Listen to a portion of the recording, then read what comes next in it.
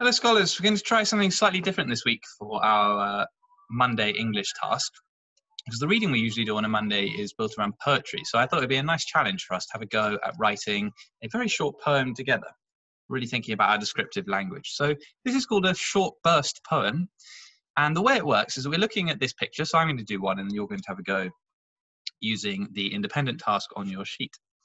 So here's a tiger. I'm going to focus on three parts of the tiger that I really want to describe. And you can see I've got these three lines here. So I want to talk about its eyes. I want to talk about its ears. And I want to talk about its fur. Those are the three parts. There are other things you could have thought of. You could have done the teeth, for instance, or the whiskers, or, or its nose. Lots of different things you could have chosen to do. Now, these words are now in the middle of the sentence, but I'm going to create three short but very descriptive sentences to describe each part.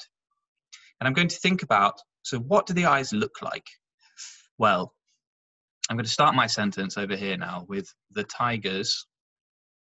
Need that apostrophe to show it belongs to them. Something eyes. The tigers, gleaming eyes, glistening eyes, piercing eyes, staring eyes, I quite like piercing. It's that sense that it's looking into you somehow. The tiger's piercing eyes. Well, what, what are they doing? Stared.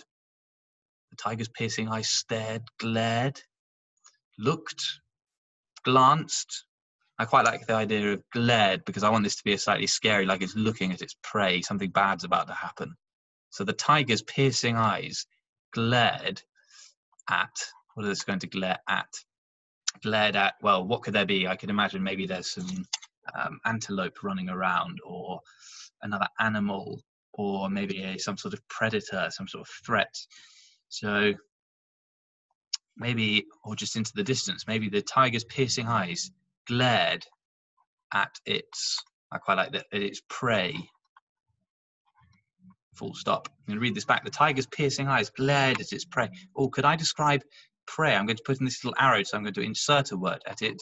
Maybe it's trembling prayer. I want to show the prayer really scared.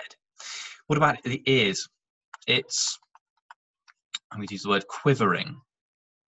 It's quivering ears, sort of moving around, floating around. It's quivering ears listened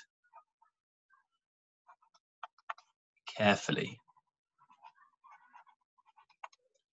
Maybe I don't like quivering so much anymore. I'm going to change quivering uh, to twitching. It's twitch. I think that gets a better sense of what the image that I want to create for the reader.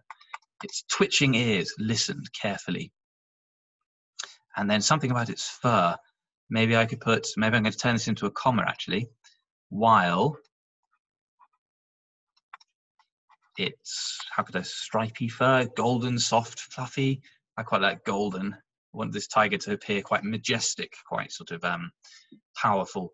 It's while it's golden fur, what could the fur be doing? Could be flowing in the breeze, maybe rustled, um, twitched. I've always used twitch, so maybe while it's gold, golden fur rustled.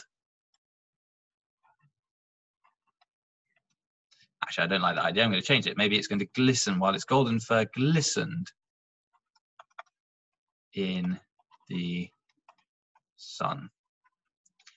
Could I maybe think here, could I add something else? Glistened like, I could use a little simile, glistened like a diamond, like a jewel, like a pearl, like a, I might go with diamond, diamond.